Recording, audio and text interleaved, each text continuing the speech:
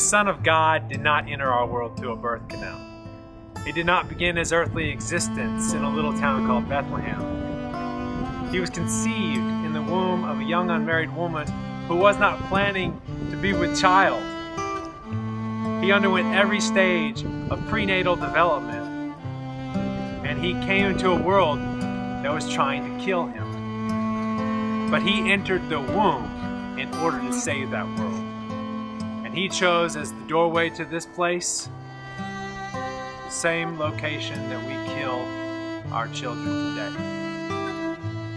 To celebrate Christmas, to think about the incarnation, is to be in conflict with the culture of death.